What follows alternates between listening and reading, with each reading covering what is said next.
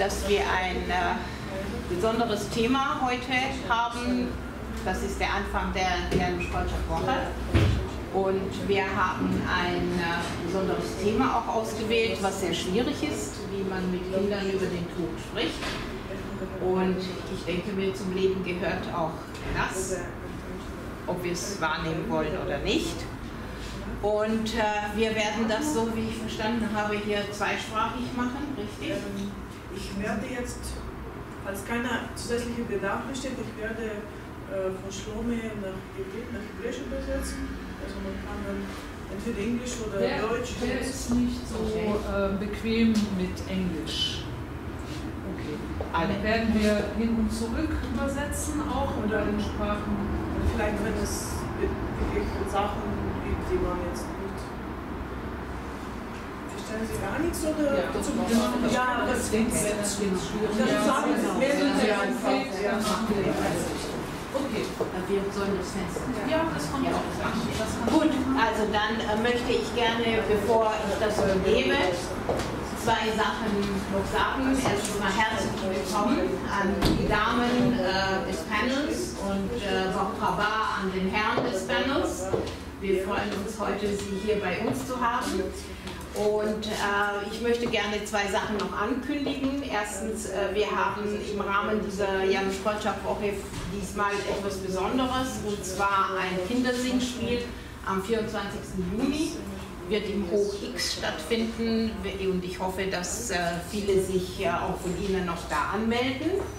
Und das Zweite, was ich auch erwähnen möchte, ist, dass wir uns immer gerne über Spenden freuen.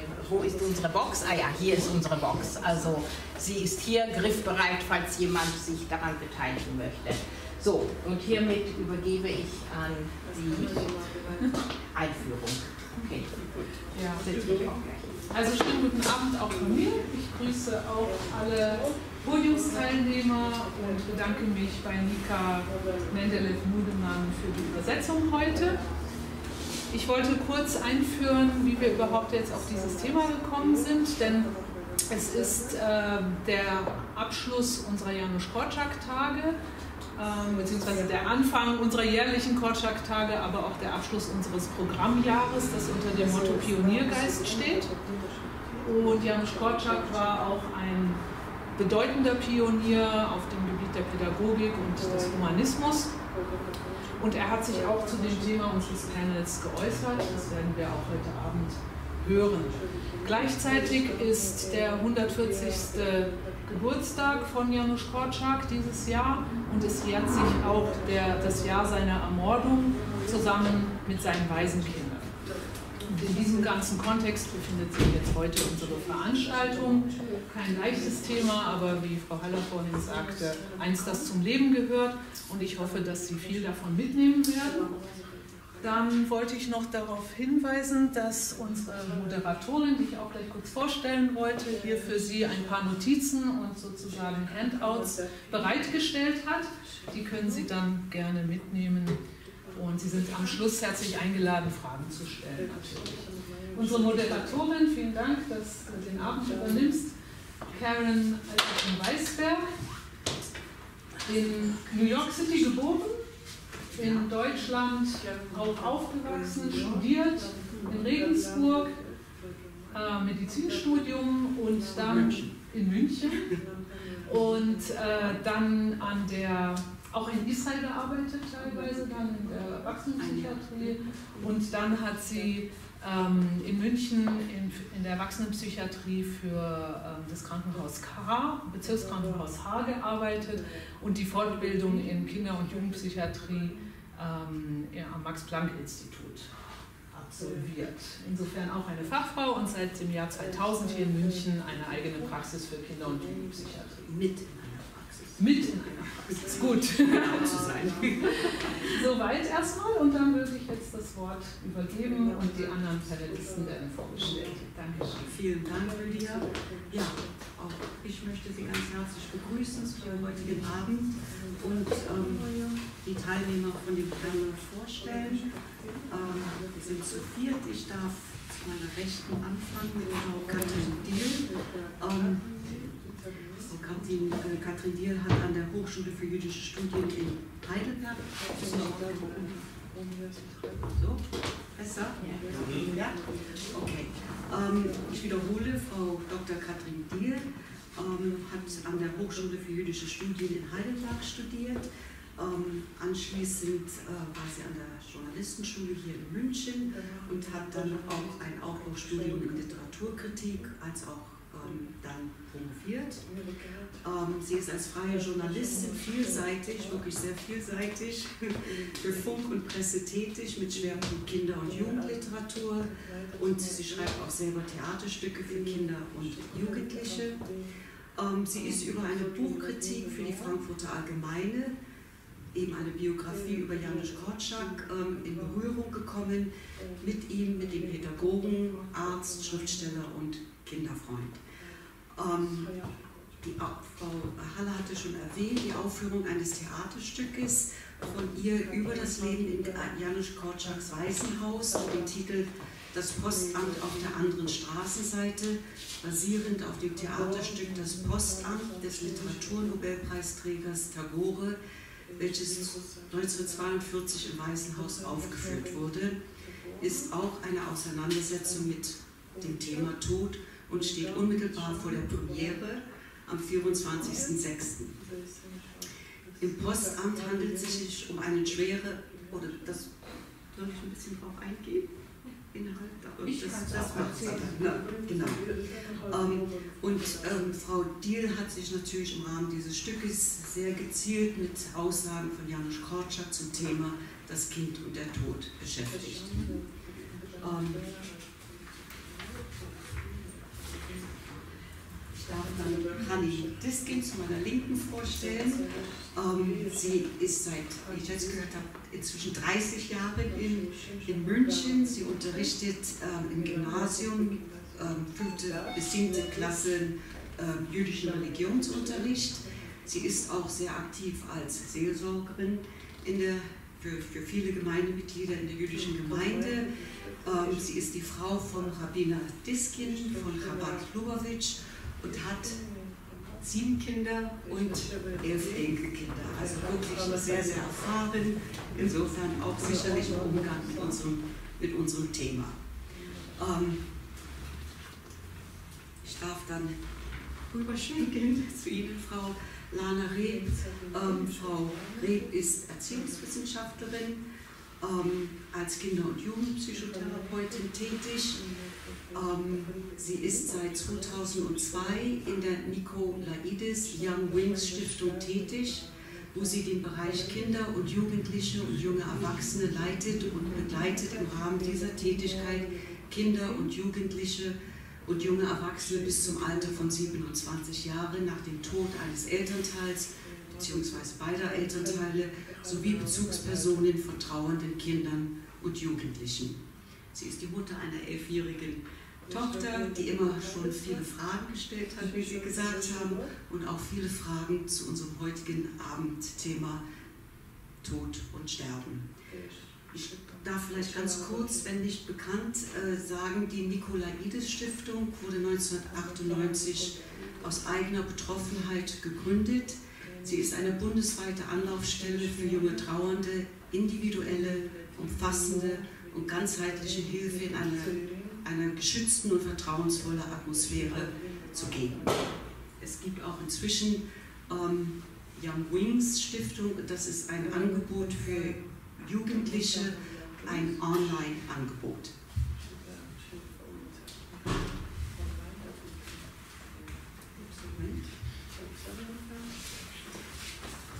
Last but not least, Mr. Shlomi Nachumson from, äh, von, also jetzt auf Deutsch, aus, ähm, ist zu uns gekommen. Er hat die längste Reise hinter sich von Israel gestern Vormittag zu uns gekommen. Er lebt in Israel, ist dort geboren und lebt in Israel. Er diente in der israelischen Armee, ähm, studierte anschließend politische Wissenschaft und außerschulische Bildung. Äh, er arbeitete in mehreren Summercamps in verschiedenen Positionen und auch Israel-verwandten Programmen in den USA, auch als stellvertretender Direktor eines Internates. Ähm, seit sechs Jahren ist er Direktor der Jugendabteilung des ähm, Israel Defense Force, der Witwen- und Waisenorganisation. Ähm, diese Organisation bietet in der Hauptsache eine sichere Umgebung trauernde Kinder, ähm, um mit ihrem Schmerz, mit dem Verlust zu lernen, umzugehen. Das sind Kinder, Jugendliche, die ähm, davon betroffen sind, dass ihre Eltern, Angehörige, Freunde, wie auch immer, sozusagen in der Armee ähm, gestorben sind. Ähm, ja, ich denke, jetzt ähm, habe ich alle Beteiligten vorgestellt, ähm, die diesen Abend ähm, bestreiten werden gemeinsam. Ähm, ich möchte noch einleiten zu diesem heutigen Abend.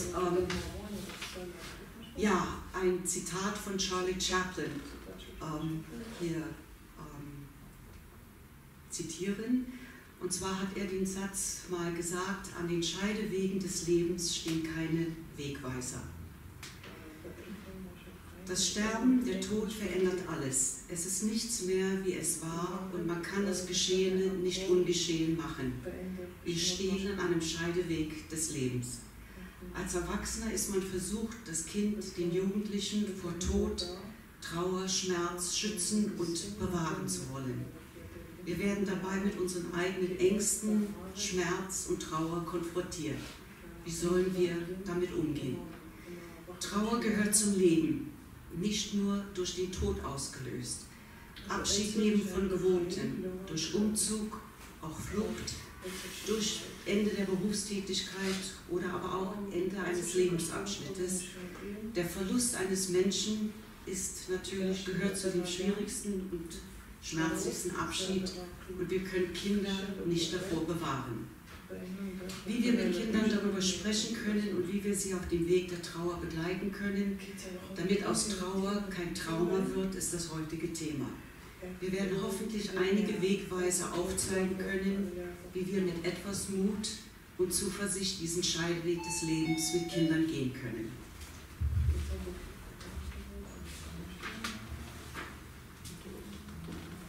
Ähm, ich würde gerne die Runde mit Frau Diel eröffnen, zu meiner Rechten, ganz außen.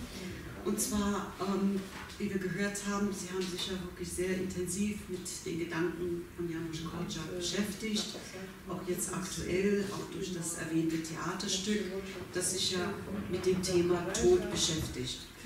Können Sie uns Janusz Korczaks spezifischen Perspektive schildern?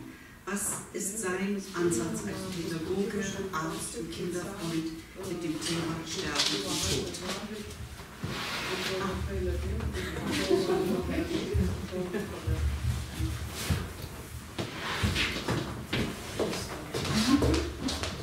Oben steht.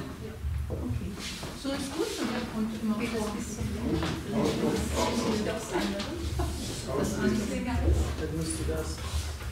Geht es so? Wir drücken einfach zusammen. Okay, danke. Dann hört man das. Okay. Ähm, ja, Janusz Korczak und das Thema Tod ist sehr, sehr schwierig. Ähm, aus mehreren Gründen.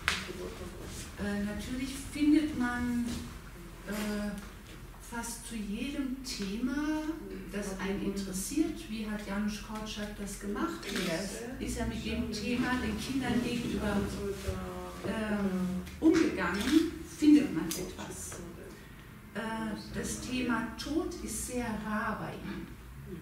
Auch in, der, in seinen äh, Schriften, die er hinterlassen hat. Mit dem Mikro. Ähm, das hat zwei Gründe, würde ich sagen.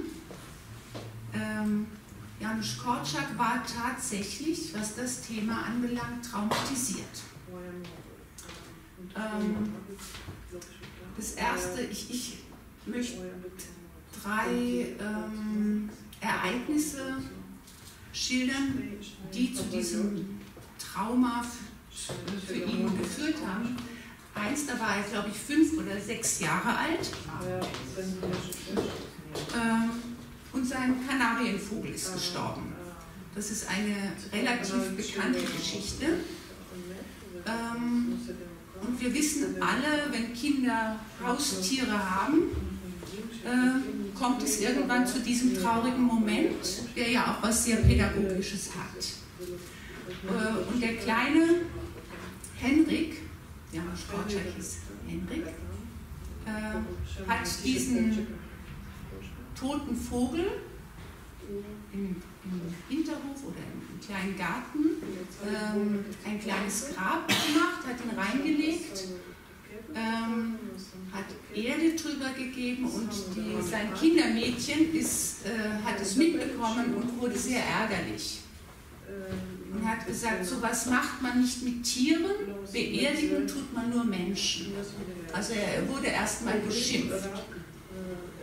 Äh, dann hat er auf dieses kleine Grab ein Holzkreuz gestellt, was eine Reaktion von einem polnischen Jungen hervorgerufen hat, von dem Sohn des Hausmeisters nämlich, der wiederum sehr ärgerlich wurde und sagt, du bist ein jüdischer Junge, also war dein Vogel auch jüdisch äh, und der hat kein Kreuz zu bekommen.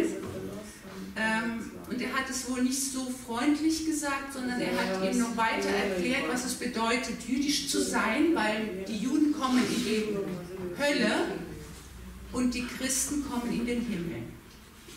Und das hat den, den Jungen sehr, sehr beschäftigt. Man ähm, kann immer verfolgen, was Janusz Korczak sehr beschäftigt, findet man immer wieder in seinen verschiedenen Geschichten, äh, in seinen Tagebucheintragungen kommen Momente, die ihn sehr berührt haben, tauchen immer wieder auf. Diese Vogelgeschichte taucht zum Beispiel auch in seinem berühmten Kinderbuch äh, König Hänschen auf.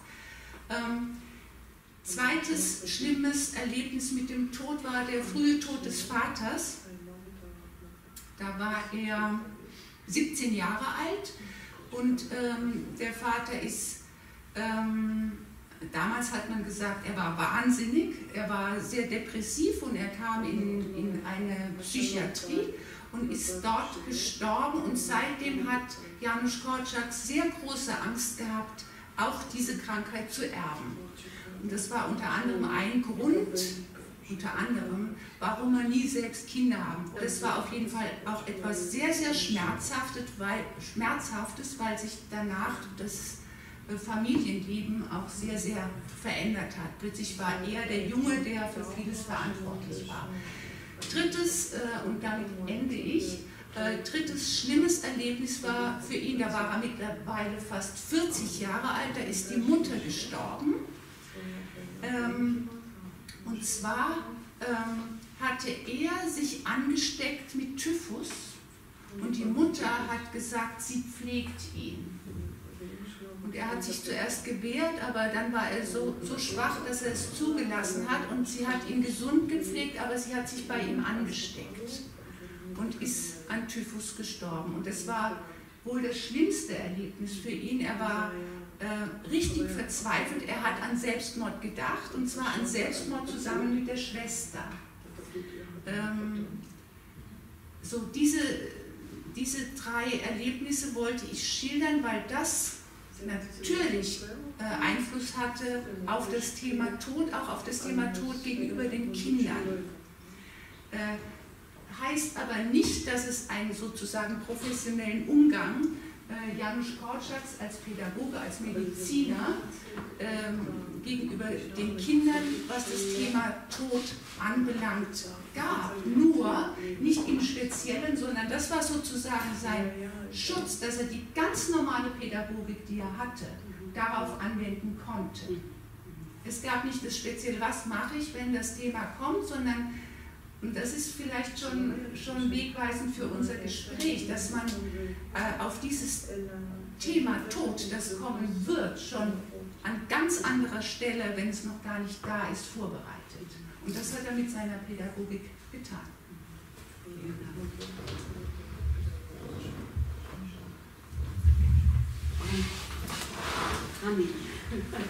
Ich würde gerne von, von dir wissen wollen, ähm, wie, wir äh, schon besprochen haben, es ist ein allgemein menschliches Thema als Teil unseres Lebens, auch mit Kindern über den Tod zu sprechen, unabhängig der kulturellen Herkunft und auch der Religion. Und ich würde gerne hören, ähm, was es spezifisch Jüdisches ähm, gibt, inwieweit man mit Kindern darüber spricht, zum Beispiel auch ähm, das Thema Shiva-Sitzen. Was bedeutet das für Kinder? Ähm, wie erleben sie es, ähm, diese Zeit der Trauer mit den Familien, Freunden, Angehörigen? Das würde ich gerne was erfahren wollen. Geht's? Okay, ich glaube, wir müssen guten Abend, äh, zwei Themen erstmal trennen. Also generell, was ähm, das jüdische Thema zu Tod oder wie man mit, Jüden, mit jüdischen Kindern und mit Kindern über das jüdische Ansicht an Tod hat. Und dann praktisch das, das äh. Ähm, ich glaube, wir äh, benutzen oder wir sprechen mit Kindern über Tod dauernd in die jüdische Religion. Vor allem der erste Gebet, das alle Kinder lernen, ist Moder Ali Lefanecha. Das bedeutet, dass jeden Tag wir bedanken uns bei Gott, dass wir unsere Seele wiederbekommen haben. Das heißt, wir bedanken uns bei Gott, dass wir lebendig aufgewacht sind. Und wenn wir die Kinder ähm, schon im Kindergarten beibringen, was dieses, bedeut, bedeuten, was dieses Gebet zu bedeuten hat, ähm, zum Beispiel bringt man auch eine Puppe mit, der kein Leben hat, und zeigen, dass wir doch ein Leben haben. Und das ist nicht selbstverständlich, dass wir jeden Tag wieder neu die Gelegenheit haben zu leben. Und wir sollen uns schon als erstes Gott bedanken täglich, dass äh, wir am Leben sind. Und deswegen ist das Thema schon von Anfang an kein Tabu. Ähm, ich glaube, dass für unsere Großeltern, weil die haben viel Schlimmes erlebt mit dem Tod und sehr viel nicht Natürliches durch die Shoah und so weiter, ähm, haben ihre Trauma und äh, die, würde ich sagen, fast Aberglauben von der alten Welt mitgebracht und sagt, dass, dass Kinder sollen nicht auf dem Friedhof und mit Kindern sollen nicht in einem Schillerhaus anwesend sein und sollen vielleicht gar nicht auf eine äh, Beerdigung kommen und so weiter. Und das ist nicht von einer jüdischen Sicht, äh, das ist falsch. Ähm, in unserer Tätigkeit hier in der Gemeinde sind wir oft die erste Anlaufstelle, wenn Familien mit einem Tod ähm, konfrontiert sind. Und oft äh, haben wir gemerkt, dass das Erste, was sie wissen wollen, ist, wie machen sie alles richtig von der Halacha. Also oft sind äh, die Leute selber nicht unbedingt, die leben nicht unbedingt nach der Halacha, jüdische Gesetz, aber wenn es geht um Beerdigung, wenn es geht um Shiva, wenn es geht um Trauer, wollen sie alles richtig machen. Und deswegen vor allem muss man die Erwachsenen helfen und leiten, wie man das alles richtig macht. Und was auch sehr, sehr wichtig ist, ist, dass die Erwachsenen beschäftigt sind mit ähm, eine Grab auszusuchen, mit die ganzen Papiere zu suchen und so weiter. Die Kinder sind einfach da im Haus und wissen gar nicht genau, um was es geht und wie eine Beerdigung ausschaut. Und da muss man sich Zeit nehmen mit den Kindern, ob es ist jetzt für die Großeltern oder selber die, die Eltern, die da sind, oder wenn ein Gott behüte Mutter, der Vater die Mutter gestorben ist, einfach sich Zeit zu nehmen, mit den Kindern zu reden und erklären genau, was passieren wird und was nicht passieren wird. Weil oft haben Kinder Vorstellungen, ähm, wie eine tote Person ausschaut oder wie eine Begräbnis abläuft und die haben keine Ahnung, was zu erwarten. Und die sind vielleicht mehr traumatisiert, einfach um was sie sich vorstellen, von eigentlich was passieren wird. Und man sollte denen einfach wirklich so ehrlich wie möglich schildern, genau, was, wenn es möglich ist, vielleicht sogar vorher auf den Friedhof gehen, dass die sehen sollen, wie ein Friedhof ausschaut, wo die stehen werden, ähm, wie ein Sarg ausschaut, dass man wird eine schwarze Tuch über den Sarg äh, tun, damit ähm, also man sieht nicht die tote Person beim Begräbnis und so weiter. Und dann, äh, wie die Beerdigung selber abläuft und also wirklich jeder Schritt schildern und dann fragen die Kinder, ob die sich trauen, dabei zu sein, ob die wollen dabei sein, ob die wollen nicht dabei sein, ob die wollen eine Vertrauensperson neben sich haben oder nicht. Oft denken sie, besonders so Jungs mit 11, 12, das ist cool eigentlich und die wollen das alles miterleben. Und dann, wenn es tatsächlich dazu kommt, können sie es gar nicht anschauen. Und deswegen muss man auch schauen, dass es gibt jemanden da, der mit einem zurückbleiben kann, nicht bis zum Grab geht oder was auch immer. Ähm, man, man, sollte diese praktische Sache bedenken äh, haben, dass jemand wirklich dabei sein kann und bleibt und das Kind, wenn es nicht zum Grab gehen will. Ähm, es gibt einen Brauch, dass die äh, Kinder legen also ein bisschen ähm, Erde auch auf den äh, Sarg und diese erste, wenn, wenn die, die ersten Steine drauf fallen, dann kommt ein Krach und noch ein Krach und das manchmal sind, ist, sind diese Geräusche wirklich traumatisierend selber. Und so sollten man das die Kinder vorher sagen. Ich weiß nicht, ob die können das wirklich vorher vorstellen, wie das ist. Aber auch wenn es dazu kommt, dass die sollen jetzt einen Schaufel nehmen, dann können sie gar nicht. Und man soll sie auch nicht zwingen. Also dass man sollte von einer Seite sehr viel Kavot, also Respekt abgeben zu den Verstorbenen, aber es muss nicht sein auf der Kosten von den Kindern. Und was auch noch dazu kommt, sind bei Jungs, dass die sollten der Kaddisch sagen, auch sehr junge, das ist Trauergebet, ähm, auch junge Kinder, wenn sie können. Und hier haben wir einige Kinder, die sind überfordert mit der hebräischen Sprache. Und da kann man sie geben, auf lateinische Buchstaben das Gebet äh, zu sprechen. Äh, wir, wir, nehmen uns auch die Zeit, den Kindern dieses Gebet zu üben, damit die nicht äh, später sich schämen müssen, dass sie es nicht ganz sagen können. Und wenn wieder die es selber nicht sagen können, dann sollte jemand bereitstehen, dass es für den sagen kann, sodass die nicht in ähm, Gelegenheit geraten kommen. Nachdem das alles passiert ist, dann kommt erst die Shiva. Ähm, das heißt, man muss, bei uns geht die Begräbnis ziemlich schnell und deswegen muss man erst reagieren auf diese praktischen Sachen und die Kinder begleiten während der Beerdigung und danach. Und ich glaube, die sind so beschäftigt mit diesen praktischen Sachen, dass die haben wirklich nicht so viel Zeit zu bearbeiten, was alles passiert ist. Was wir oft erleben als religiöse Personen, die Leute sind böse, dass sowas passiert ist. Und oft sind wir praktisch so, als ob der Repräsentant von Gott, als ob wir sozusagen schuldig sind, dass sowas passiert ist, das auch verständlich ist. Und mit der Zeit haben wir es gelernt, auch nicht persönlich zu nehmen. Aber am Anfang war es ziemlich, oh mein Gott, also was haben wir jetzt gemacht? Ich versuche nur zu helfen. Ähm, aber das haben wir auch gelernt, dass man braucht irgendwie auf jemanden den Wut auszulassen und wenn wir jetzt diese Punching Bag sein kann, okay. Ähm, Schiffe schaut ein bisschen anders aus, je nachdem, ähm, wie, der, wie der Fall war. Wenn es jetzt eine sehr, sehr tragische Fall war, dann ist Schiller vielleicht ein bisschen mehr emotionell und ähm, entweder ist der Ehepartner oder die Kinder selber noch beschäftigt mit sehr viel Weinen. Und wenn es eine ältere Person ist, dann läuft das Schillerhaus eher fast wie ein soziales äh, Treffen, wo viele ältere Leute kommen und reden. Und ist, Leute finden das anders. Manche Leute finden das nicht, das so nicht, nicht respektvoll, dass man so viel redet und quatscht über Dinge, die gar nichts zu tun haben mit dem Tod. Und es ist nicht so respektvoll für den Verstorbene.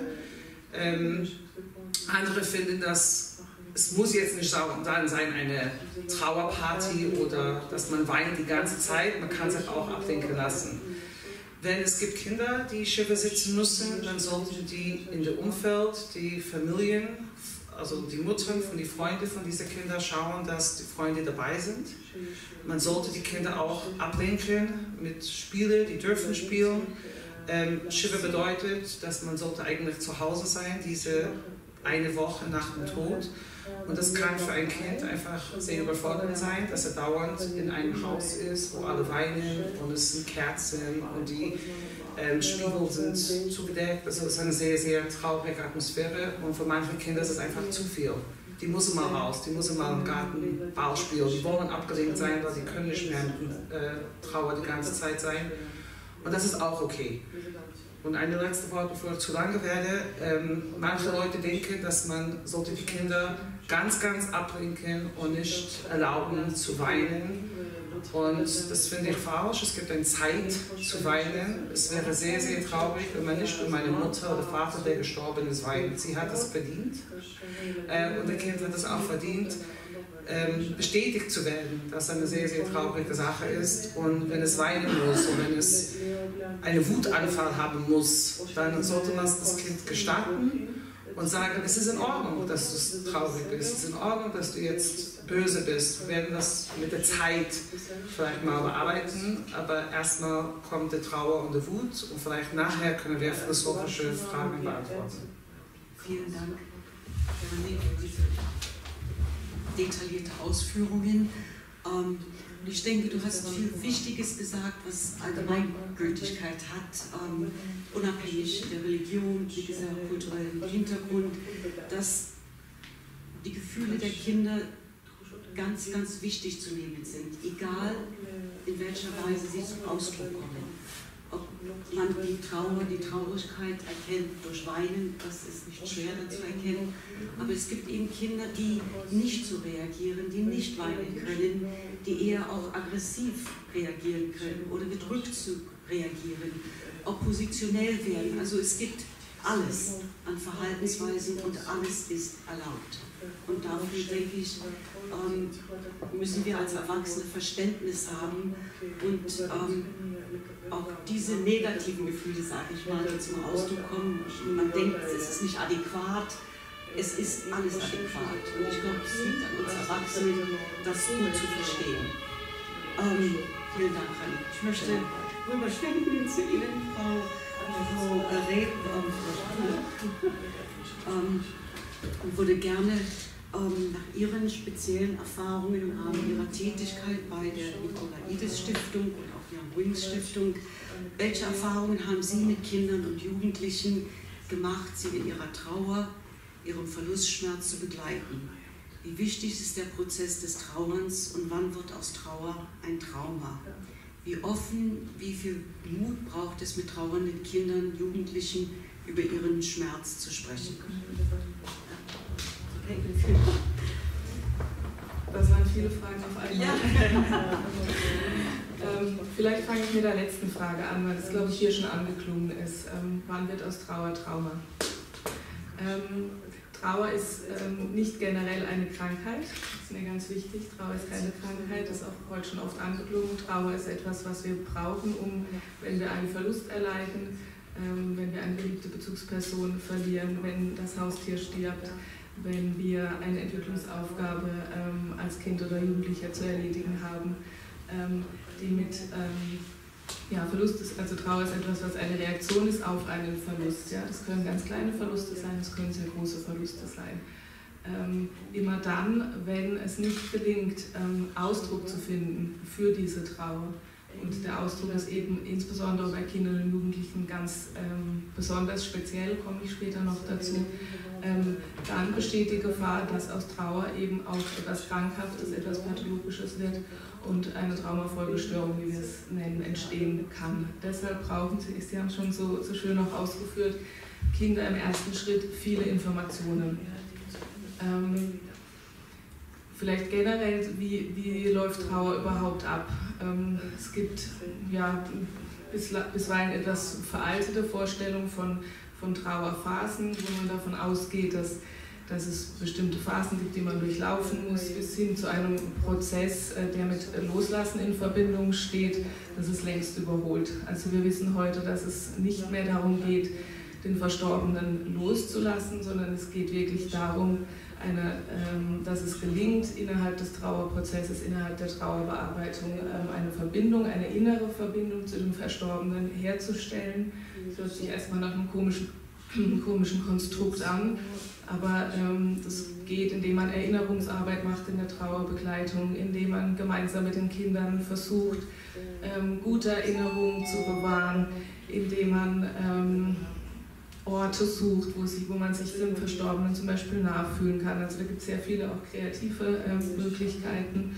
Und ähm, der Trauerprozess ist etwas, was, was ich ja vielleicht mit einem Bild von Hin- und Herpendeln verstehen würde. Das heißt, es gibt die Phasen in, innerhalb des Trauerprozesses, wo wir beschäftigt sind mit alten schmerzhaften Gefühlen, mit den Erinnerungen an den Verstorbenen, wo wir vielleicht uns alte Briefe anschauen, wo wir ähm, uns Bilder anschauen. Und dann gibt es ähm, Phasen, wo wir uns eher dem Leben zuwenden, wo es um die Zukunftsorientierung geht, wo wir uns unser Leben einrichten ohne den Verstorbenen. Ähm, bei Kindern ist dieser Prozess ähm, sehr schnelllebig. Das ist manchmal etwas irritierend für uns Erwachsene. Also Kinder springen wirklich rein in die Trauer, in die schmerzhaften Gefühle, in das Weinen und sie springen genauso schnell auch, auch wieder raus. Ähm, ich finde ganz wichtig, was, was Sie auch sagten, ähm, dass es für uns als Erwachsene darum geht, ähm, alle Formen des Trauerns zu akzeptieren und dazu gehören eben auch vermeintlich sozial unerwünschte ähm, Reaktionen wie aggressiv sein, gegen die Wand treten, laut sein, oft auch Leistungsabfall in der Schule, was dann von den Eltern wiederum bewertet wird. Da ist es uns in unserer Arbeit immer sehr wichtig, ähm, darauf Bezug zu nehmen, dass eben all diese Dinge Reaktionen sein können auf den, auf den Verlust. Und dass es äh, unfassbar wichtig ist, ähm, diese nicht zu bewerten, sondern tatsächlich als ähm, Möglichkeit, als aktuell mm, vorhandene Möglichkeit oder Strategie des Kindes zu verstehen ist, mit diesem Erlebnis umzugehen. So, ihre, die, die erste Frage.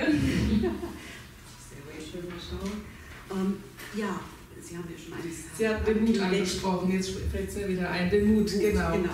Mut. Also ich glaube, am Anfang, ähm, wenn wir Kinder in Trauer begleiten möchten, steht die eigene Auseinandersetzung. So was, wie wir es heute tun. Ja, dass wir uns ähm, überlegen, wie stehe ich denn eigentlich zu diesem Thema? Welche Worte habe ich dafür? Welche Vorstellung? Welche Vorstellung habe ich davon, was nach dem ähm, Tod kommt? Ähm, ich empfehle Eltern, die in einer Situation sind, ähm, wenn zum Beispiel der Partner verstirbt, ein Elternteil ähm, verliert, wirklich sowas auch mal vor sich hin zu sprechen, weil wir es nicht geübt sind. Wir sind nicht vorbereitet auf diese Momente sondern wir, ja, in der Regel versuchen wir zu vermeiden, über dieses Thema zu sprechen und es lohnt sich, sich tatsächlich als erstes mit sich selbst auseinanderzusetzen und zu schauen, welche Worte finde ich denn. Ähm, es gibt eine große Unsicherheit, ähm, die möchte ich gerne versuchen insofern zu nehmen, als dass ich ermutigen möchte, dass ähm, Kinder zum einen keine vorgefertigten Antworten brauchen. Man kann sich wirklich auf ihre Neugier verlassen. Kinder fragen immer wieder nach wenn die Gesprächsbereitschaft und die Atmosphäre zum Sprechen da ist. Also da ist es an uns Erwachsenen wirklich immer wieder das Signal zu geben, ich bin da, frag mich, ähm, du kannst mich immer fragen, wenn ich gerade keine Antwort habe, verspreche ich, ich versuche darüber nachzudenken und gebe dir die Antwort zu einem späteren Zeitpunkt, dann ist es natürlich auch wichtig, dieses Versprechen ähm, einzuhalten. Ähm, wir brauchen keine vorgefertigten Antworten und keine abschließenden Antworten, denn je nach Alter des Kindes kommen diese Fragen auch immer wieder. Was sehr speziell ist bei Kindern ist, das ist etwas, was man mit Retrieving ähm, bezeichnet, nämlich der Umstand, dass, ähm, dass Kinder mit zunehmendem Alter und damit auch mit zunehmenden kognitiven Möglichkeiten immer mehr Möglichkeiten zur Verfügung stehen, ähm, zu begreifen, was es heißt, ohne den Verstorbenen zu leben. Insofern müssen wir uns als Erwachsene immer wieder auch anpassen an diesen Entwicklungsstand. Und da möchte ich auch ermutigen, Kinder wirklich zu befragen und ähm, nach ihrem Verständnis zu befragen, gleichzeitig die eigene Haltung zu transportieren, aber eben auch viel Raum zu lassen für das, was das Kind beschäftigt und bewegt und auch mit einer Haltung in so ein Gespräch zu gehen, dass, wie ich es eingangs sagte, dass, dass Kinder eben ein Recht haben, auch bei diesem existenziellen Lebensthema Fragen stellen zu dürfen und sie auch beantwortet zu bekommen. Vielleicht soweit? Ja, vielen Dank.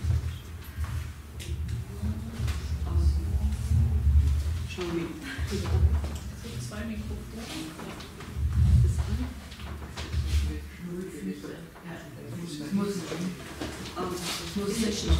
Also man hört mich so, ist es okay? Für schon. Ähm, jetzt habe ich, muss ich gestehen, meine Frage an Schlomi in Englisch formuliert. Dann machen wir es diesmal andersrum. Sie, Sie das übersetzen ins Deutsche. Okay? Um, Shlomi, um, can you share your experience, how you deal... Wie bitte? Ich glaube, das ist einfach, wenn sie auf Deutsch und weil, Also, so- ich habe mir jetzt... Okay. Kevin, you can do. You can ask the question in German and then ask me. Okay, I just formulated for myself in English. Oh, Okay, ähm, die Frage wäre, ähm, ja, Shlomi, aufgrund der Erfahrungen deiner Arbeit, die spezielle Situation in Israel, ähm, mit extrem traumatisierten Kindern und Adoleszenten zu arbeiten, die Familienangehörige, Freunde verloren haben durch, durch Krieg und Terror. Ähm, und Natürlich ist es in Israel eine ganz spezielle Situation, aber zunehmend werden wir auch hier in Europa ähm, konfrontiert mit Gewalt, mit Terroranschlägen, mit Amokläufen unterschiedlicher Art. Und ähm, aus deinem Erfahrungsbereich, was kannst du uns hier vermitteln? Okay, um, first of all, um, I'd like to say that I'm really happy to be here. Um, five years ago, we started the um, partnership between the Janusz Kochak Academy for Education and the IDF Widows and Orphans organization. Um, and um, for me, the most basic, the most initial connection was the figure Janusz Kochak. Janusz Kochak um, was the founder and director and the spirit behind um, eventually an orphanage in, in Warsaw, um, where you had to speak about death because every single one of the students, the, the, the participants in the orphanage, um, experienced death. Um, okay. Wir haben gesagt, falls der Bedarf besteht, dann werden wir. But above everything else, um, Janusz Kochak had a different approach on how to speak with children. Not, not only about death, not only about life, but how to speak to them, how to speak with them. And, and for me, Janusz Kochak is um, a role model um, and a teacher um, for everything that we've been doing um, with our children at the IDFWO. Um, so we started five years ago, but four years ago, um, the people that were involved then probably remember. I came here with 10 children, teenagers, high schoolers, all sons and daughters of IDF fallen soldiers. We came here for a seminar of 10 days. Should have been a peaceful experience um, filled with laughter and learning and joy. Um, but when we arrived to the airport in Tel Aviv, we were almost the only ones there because the country was under um, rockets attack and what later will be known as Operation Protective Edge started, I think, the same day or the day before um, we arrived to Munich. And suddenly, it's not only that you um, need to speak with your children about the loss, the death that they experienced years before. Um, we had to speak with them about the possibility or their fear of something that will happen to their friends, to their families. Some of them came from Ashkelon and Ashdod, cities that were under attack these days. Um, and, and it came up again. The fear that something will, will happen to their close friends or even to themselves came up again. And, and we asked ourselves how we're going to speak to them about it um, or with them about it. But um, way before you ask yourself how to speak about death with these children or with children at all, you ask, uh, you, you foremost ask another question: Do you speak with these children about death? And the answer is always yes. Because probably the worst thing to do is to avoid this subject, as sometimes we do with subjects, with topics that are um, uncomfortable for us. So the first question is yes, speak with them. Now, how to speak with the children or with children at all about death, about loss, about tragedy, about something that happens to a family member or to a friend or even to someone from their classroom or someone that they didn't really know but they knew something who, who knew them okay because when that happens in a way it's the end of the world as we know it. When we realize that death is something real especially if it's done when we're um, when we're younger it's pretty much the end of the world as we uh, as we know because we're used to a naive world where we go to school, we play with our friends, we feel safe in our environment, we feel safe in our neighborhoods, but suddenly something happens that changes. A terror attack, a rocket, a, a, a uh, uh, um, um, I don't want to give the, the examples that I'm sure you're all familiar with, and, and um, this continent, this country has known terrible times, but this time is a peaceful time, sometimes disturbed, unfortunately, with, um, um, with unpeaceful events. Um, but these things are happening. And when they happen, when they occur, this is, um, for these children, a lot of the times, the end of the world as they know it. So the first thing that we do is telling them that we're here to speak with them. How? It's almost, it's it, it almost doesn't matter. But the fact that we provide a stable figure, a stable person, an anchor, when, when, when that happens, it shakes their lives. And we, we want to re-anchor their lives again. We want to restable it. And we, as an adult, are able to say, hi, we're here for you. I know this is shocking.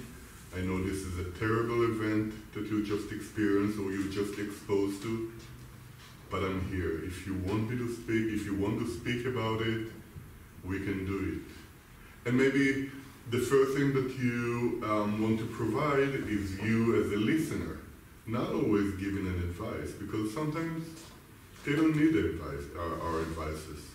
Sometimes they just want to share. Sometimes they just want to get rid of baggage, of, of you know, of their feelings. So just providing them our figure as a listener, as, as a resource. If they want it, they can take it. If they don't want it, they don't have to. But they need to know that we're there. Sometimes, by the way, they will prefer not to use that resource. They would prefer their peers, their friends, people their same age, the same culture and language that they speak, that may have been involved with that incident as well, in this way or another. Okay, and they would prefer to share these experiences, these feelings and emotions um, with their friends. This is fine. Don't don't try to push yourself as a resource. Suggest yourself, okay, but don't push yourself. Don't be offended if they choose a teacher maybe or a counselor over you. But again, at the same time, suggest yourself as a resource, as someone, as a support, as a resource for support, as someone that you can lean on. Uh, don't forget that um, uh, uh, for a parent, you're, you're the most important and, and, the most meaningful adult in their lives. But being a teenager is a, is a, is a mixed, is a confusing um, um, position because sometimes they would prefer um, um, someone else over you. Encourage them to use methods like writing, maybe poetry, sports, being um, uh, um, going out to jogging or or anything that can help them unload these emotions in, uh, in a physical way. Encourage them to find support if they if you see that they need it. Um, Lana was speaking about grief that can cause real pain or, or real um, disease, actual diseases, not only emotional. Um, if you see that they can get over it, encourage them to get the, um, uh, the help that they need for it. And, and be a role model for that. If you feel um, when you experience that through them or by yourself and you want and, and, and you tear or, or, or you look sad, don't hesitate to show your real emotions about it. Don't try to, um, to hide it. Um, expose yourself, expose who you are. And, and, and, and if you need support, if you need professional consultants, um, don't hesitate to, um, to take it um, for yourself and thus provide um, a, a positive role model on, on how to deal um, with grief. Thank you. um, I, I heard that um, both um, Shlomo, you and uh, Lana had something like a joint venture. Mhm. You worked together. Could you maybe explain a bit what you did here and what ideas were? Um, Yes. Here, here you go. Ähm, ja, wir wurden angefragt von der, ähm, von der Korschak Akademie, ob wir zusammen mit der IDFWO und also wir drei Organisationen einen Austausch machen würden zu unserem speziellen Thema, was uns ähm, verbindet. Und so wurde ein ähm, wunderbarer Austausch zwischen Halb- und Vollweisen aus Israel und München und Umgebung ähm, kam zustande. Und ich glaube, das, was uns, also nein, was mich besonders beeindruckt hat, war, dass, ähm, dass der Umgang mit Tod und Sterben in dem Moment, wo Kinder und Jugendliche zusammenkommen, die in einer ähnlichen Situ- Lebenssituation leben müssen, völlig unabhängig ist von kulturellen Hintergründen, von religiösen Hintergründen, von Glauben, von Vorstellungen, sondern dass es wirklich darum geht, in der Gemeinschaft zu teilen, was es bedeutet, halbweise zu sein. Ich glaube, das wirst du bestätigen. Um, uh, uh, one of the things that happens to our children is that they uh, really quickly realize that they're different. They go to school and they realize that they're only they're the only child that experienced the loss of a parent, or um, they're the only child um, who is absent from school for a week because of the shiva or uh, during Memorial Day, um, they're absent from school, um, or if friends are coming over, there's some sort of a silence behind um, where's your father or what is the shape of your family cell. Um, and this is, uh, kids don't like to be different. Kids like to be the same. And, uh, it's not a surprise that the peer group is such an important um, element in their um, um, in, uh, in the process of, uh, of growing up. Um, and but and not only that, uh, they, they they feel lonely in, in um, with, with their um, unique status, but they also feel lonely with the range of emotions that they experience. Okay, um, uh, they lack. They also lack uh, the presence of a very meaningful person, of a role model. Um, and then when they come to our camps, I, I didn't say it before, but um, one of our core programs is bringing these kids together four times a year for camps of three, four, or five nights um, each. And, and we do all sort of things. We go hiking, we, um, we play together, we, um, we have our own traditions. Um, but it really doesn't matter what we do. It doesn't matter if we hike in the Golan Heights or if we um, go to uh, um, Tel Aviv for a picnic or, or anything else. Just provide the setting, the environment where they can meet another person who can relate to these feelings, who can understand what it's like to be um, an orphan, a half orphan, depends on how you look at it uh, culturally as well. Um, they meet with other peers, with other friends who, who share the same experiences. And finally, they don't, they don't feel like they're alone. They don't feel like they're so strange. Um, and they don't have to uh, feel like they wear a constant mask on their faces. Now, it doesn't matter in our programs if the child is from Tel Aviv, from the Golden Heights, or from Beersheba, if they're um, Jewish Orthodox, or if they don't see themselves religious at all, or don't act religious. I don't like to use the word Hiloni. Either do I. Okay. Um, or it doesn't matter if they're not Jewish, if they're Druze. Some of our kids are um, coming from the Druze or the Bedouin minority. They still understand each other, they still relate to each other, they still have this almost unseen um, connection, unseen strings between them because they know they share the same, um, the, the same destiny, the same um, emotions. They know that they that they're the same. So apparently, it doesn't matter if they're if you're from Beersheba or from the Golden Heights or Tel Aviv or from Munich. Okay, you still have that connection. And it doesn't matter if you understand each other or not. Okay, you still have that connection. You see a kid your age, and you, you, you quickly realize that there's a special bond be- between you.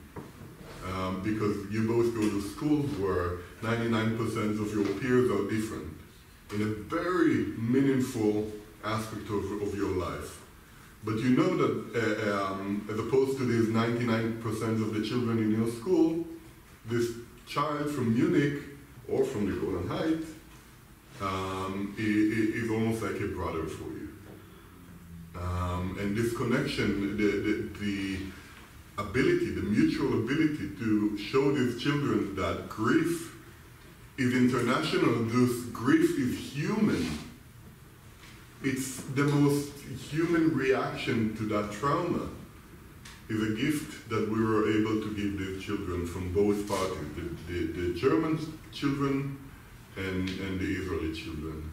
And we feel very privileged to be able to give that gift to our children, not to mention how, um, how much I personally um, and professionally learned from the Nikolaevich system, and I hope that we were able to, um, to teach a thing or two as well.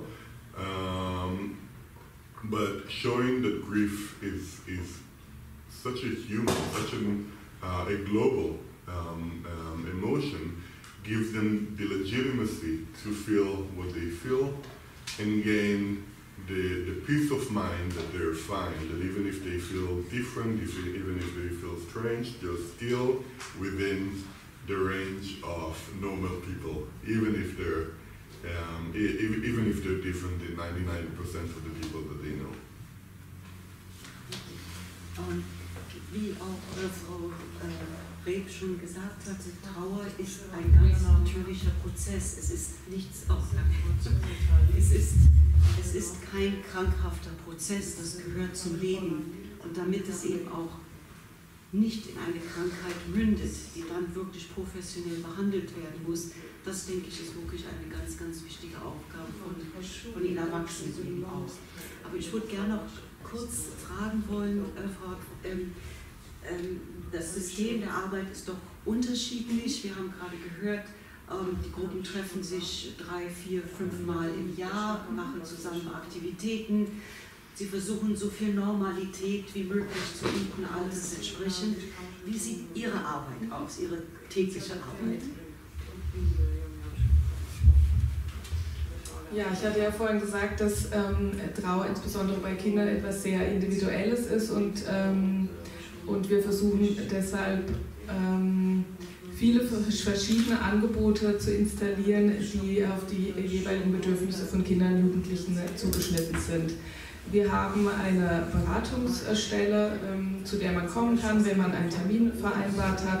Da kommen Kinder und Jugendliche und junge Erwachsene tatsächlich zu Einzelgesprächen. Da passiert genau das, was Schlummi geschildert hat. Es gibt eine feste Ansprechperson und zwar völlig unabhängig davon, wann der Todesfall war, welche Todesumstände damit in Verbindung waren, wie lange der Todesfall zurückliegt. Ähm, es wird ja oft angenommen, dass nach einem Jahr oder nach zwei Jahren das ja, sozusagen verarbeitet ist. Das ist nicht der Fall. Ähm, also zu uns kommen auch Kinder und Jugendliche, bei denen der Vater vielleicht verstorben ist, als das, ähm, derjenige fünf war und er ist jetzt 18 und merkt jetzt, ja, jetzt ist der Zeitpunkt, wo ich mich gern äh, auseinandersetzen möchte, wo ich mich beschäftigen möchte. Wir sind sehr an dem orientiert, was die, was die Kinder und Jugendlichen mitbringen. Das heißt, manche kommen einmal alle vier Wochen, manchmal kommen die einmal die Woche oder je nach Bedarf ja, zur Einzelbegleitung. Dann haben wir Gruppenangebote, das ist ähnlich konzipiert wie, wie das, was, was Schlummi geschildert hat. Da geht es um ähm, ganz schlicht um einen ganz geschützten ähm, Rahmen mit einem ganz äh, niedrigschwelligen Zugang, ähm, wo man andere treffen kann und genau diese Erfahrung machen kann. Ich bin nicht allein mit meiner Geschichte, es gibt andere.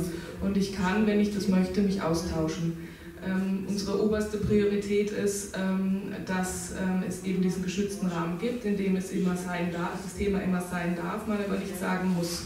Den kleinen Kindern sagen wir, ihr dürft alles fragen, aber jeder entscheidet für sich, ob er etwas erzählen möchte oder was er erzählen möchte. Dann haben wir eine Online-Beratungsstelle, ähm, die bundesweit ähm, funktioniert, beziehungsweise überall da, wo man Deutsch sprechen kann. Ähm, auch das eine, eine Möglichkeit, gerade für die Jugendlichen, die die sich vielleicht schwer tun mit dem gesprochenen Wort, die aber ganz viel Ressourcen entdecken, wenn sie, wenn sie schreiben. Und ähm, wir haben darüber hinaus auch noch eine Online-Beratung, äh, eine Berufsberatungsstelle, weil wir die Erfahrung gemacht haben, dass in einer entscheidenden Phase des Lebens, wenn es um Berufsorientierung geht, ähm, wenn dann eben ein Elternteil ähm, verstirbt und damit auch derjenige, der, der vielleicht gemeinsam mit den Jugendlichen diesen Weg beschritten hätte, ähm, der fehlt, dass, dass so ein bisschen der Boden auch unter den Füßen weggezogen ist, was dieses Thema betrifft und wir versuchen eben auch auf diesem Weg zu begleiten. Das war jetzt nur ein kleiner Ausschnitt dessen. Wir haben wirklich sehr viele ähm, Angebote, aber immer mit dem Ansatz, dass wir einen geschützten Rahmen bieten wollen, in dem Kinder und Jugendliche, die betroffen sind, sich kennenlernen können und austauschen können. Und ich kann die Erfahrung, die Schlomi auch gesagt hat, ähm, bestätigen. Es kommt gar nicht so sehr darauf an, was wir gemeinsam tun, sondern dass wir es tun und dass wir den Rahmen dafür bieten.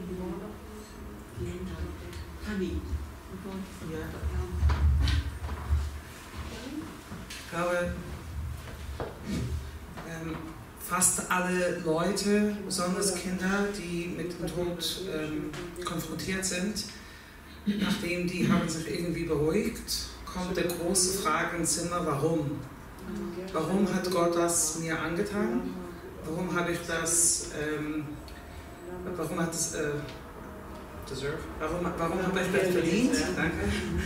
Ähm, und manche Kinder sogar haben vielleicht irgendwann mal gehört, ähm, dass eine Strafe sein könnte für irgendeine Sünde, die man begangen hat, dass man stirbt jung ähm, oder dass man denkt, dass vielleicht man selber irgendwas gemacht hat, dass die, die Eltern deswegen, Gott behüte, gestorben sind. Also es gibt ganz große Schuldgefühle. Schuldgefühle und auch diese große philosophische Frage, warum? Und ich glaube, dass an allererste muss man einfach erklären, dass kein Mensch auf dieser Welt kann wirklich erklären oder geben eine gute Antwort für Gottes Handlungen. Einer, der denkt, der kann erklären, wie Gott was macht, ist wahrscheinlich gehört im Haar. Aber ähm, ist, das ist also von Anfang an, man kann es nicht erklären. Man kann aber verschiedene philosophische Aspekte geben, äh, was in den verschiedenen Glauben sind, was wir glauben, wo der Seele jetzt ist, dass die Seele noch immer kümmert sich über ihre Angehörige hier auf dieser Welt. Sie freut sich auf die Erfolge, dass die Kinder haben.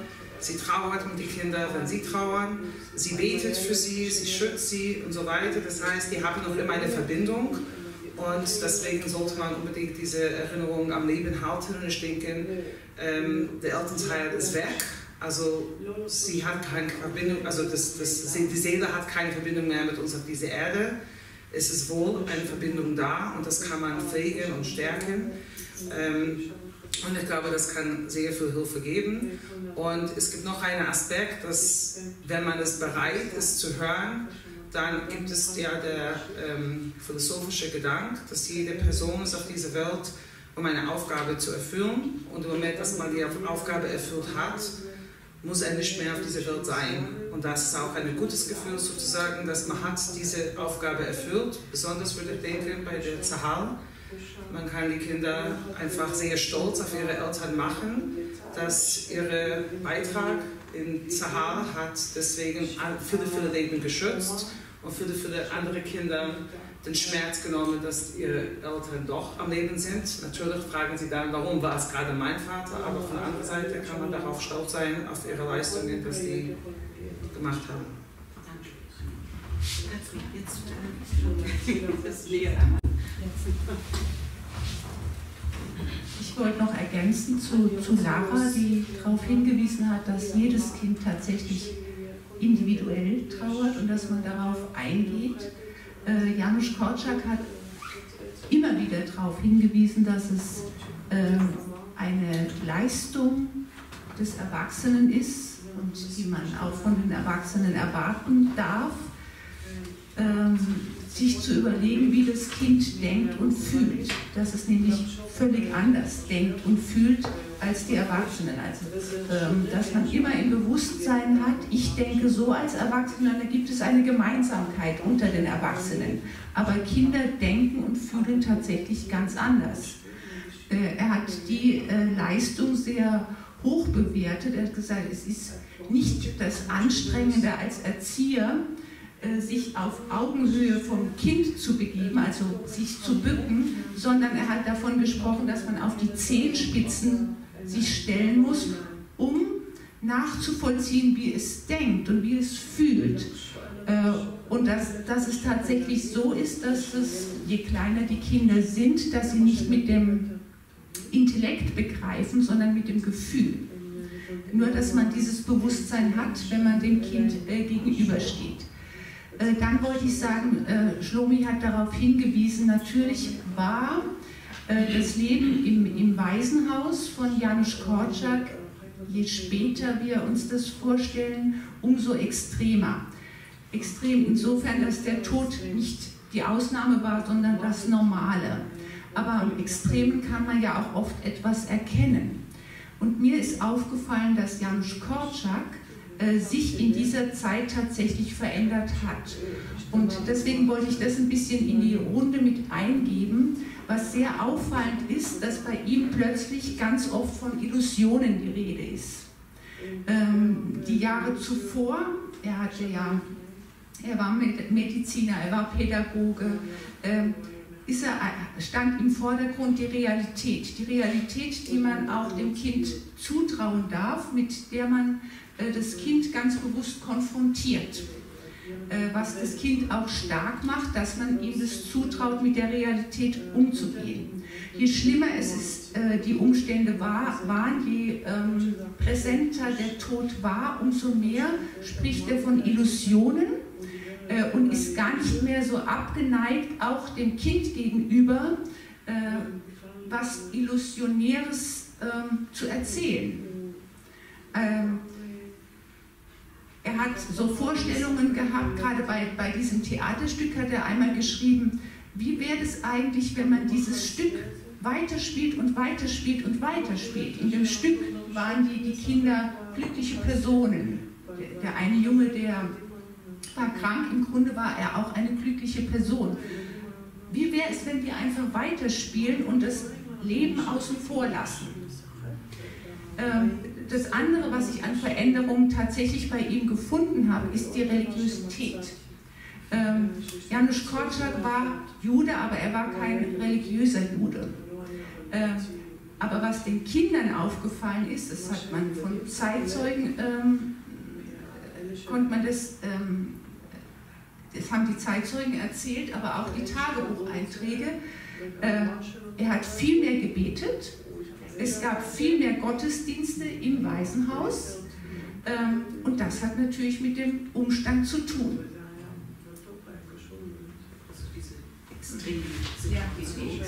so nah am Tod.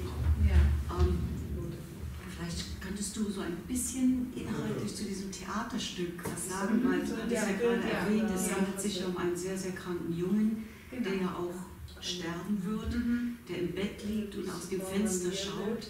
Und genau das, was du vorhin erwähnt hattest, dort glücklich war, weil die Menschen, die in das, oder so habe ich es verstanden, die mit ihm durch das offene Fenster Kontakt aufgenommen haben, so bemüht waren, ihn glücklich zu machen, wohl wissend, dass sein Leben bald zu Ende gehen würde. Und ich denke, das ist so ein ganz wichtiger Aspekt, eben der Zugang der Erwachsenen, weil daran schließen würde sich auch so mein Gedanke, werfe ich jetzt einfach in die Runde, ähm, ich denke, vielleicht spreche ich da auch für das Publikum, das sind so diese Ängste, etwas falsch machen zu können. Gibt es denn überhaupt etwas, was man falsch machen kann?